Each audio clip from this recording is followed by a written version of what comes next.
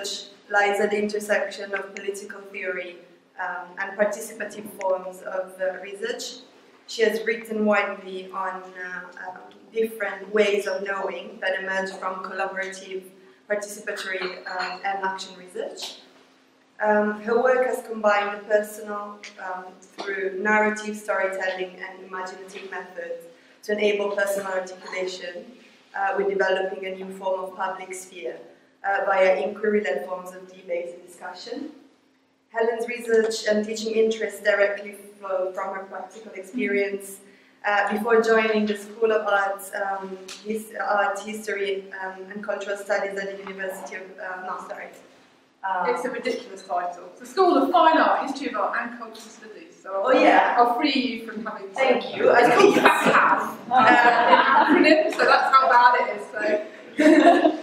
um, before that, Helen uh, worked at the International Centre for Cultural and Heritage Studies at Newcastle University um, on a research on the Arts and Humanities Research Council um, research project on place, art and identity called the Arts on uh, Tyneside. Yeah.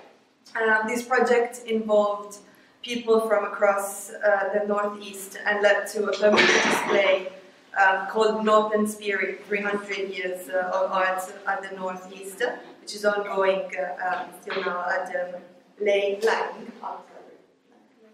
Okay.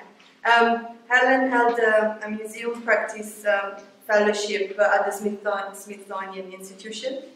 Um, and she used participatory research methods to explore intellectual access to museums.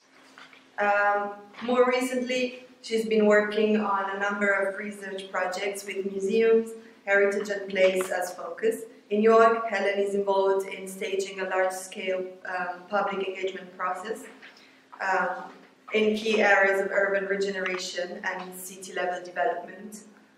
Um, um, another very interesting project that she's going to talk about during this talk as well is the Bradford's National Museum project connecting Bradford and uh, the National Science and Media Museum.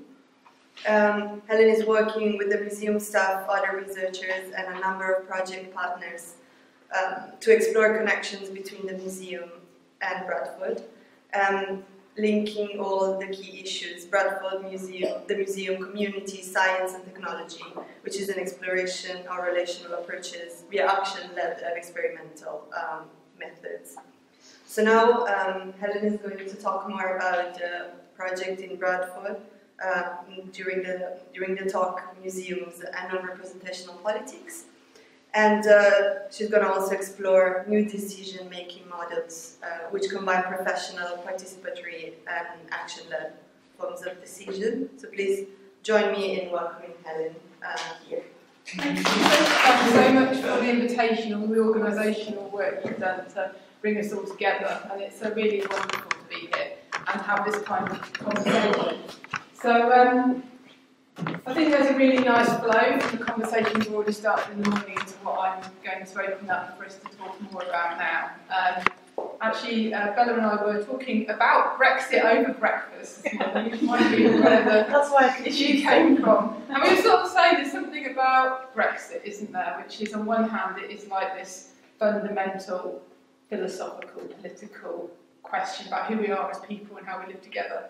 On the other hand, it's incredibly technical about the backstop and stuff to do with the customs union, which none of us really knew anything about before this whole thing started. So something there about big questions and the technical realisation of what that means. And I think there's something about that dynamic that open up in our discussion now between some of the big underpinning political questions of museums, but also some of the everyday practices of museum work that allow us to do some of the things we've been already talking about this morning, and to work with lots of different backgrounds to enrich and shape the museum. Um, that's what I'm going to talk about.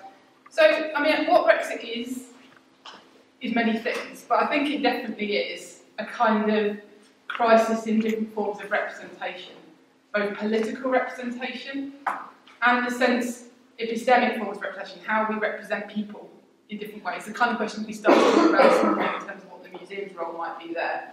In terms of political representation, referendum was used in the first place to resolve a particular party political issue within the Conservative Party.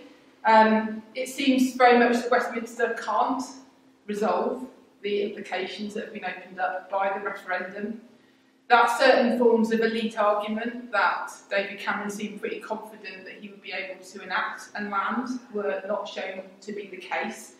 And alongside Brexit was this debate opening up, um, Michael Gove being the famous poster boy for this, around questions of expertise um, and the extent to which making decisions on behalf of the wider public carries legitimacy. Um, he's slightly misquoted Michael Gove, to be slightly fair to him, but still, that kind of indicated that sort of debate about, um, about professionals, about public service, and decision making on behalf of wider populations. But I think it's also been raised awareness of some of the issues around representing people in different ways, which is obviously a concern to museums, which I'll come on to in a minute.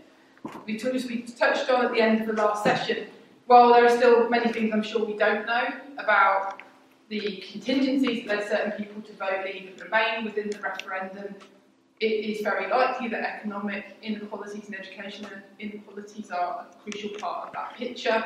And um, so this has led to questions about whether working class communities' experiences have been given enough airtime within the national debate, or equally that whether the fact that the NHS is fundamentally enabled by migration from the European Union has been given enough airtime within our public debate. Either way, this question about you know, whose experiences are being represented in our public debate has definitely been raised through Brexit. I think it does pose certain challenges for museums. It poses a political challenge for museums because they have worked through professional delegated form of decision making. It's the idea that a professional can make decisions on behalf of the collection that's held on trust for everybody in that area and future generations. Um, so it's that kind of public service trustee model of professionalism. It poses challenges because they very much sought to represent histories, communities, identities, and more and more of that's happened over the last 40 years. It's been a really fantastic and important work. And because museums have sought to be for everyone, even though we always know they never have. Um, so these are the kinds of challenges that really Brexit does require us to re-explore and repose to ourselves in different ways now, I think. So I think this speaks to some of the four core representational claims that underpin the, the logic of museums traditionally. The idea of representation, to represent humanity in the world in some way. Access, so for me, museums to seek to know about their audiences demographically, so they can know who comes and who doesn't come, so they can increase accessibility to everybody. For conservation, this idea that museums conserve collections and other resources for everybody now and future generations. And they use the resources on behalf of the public good.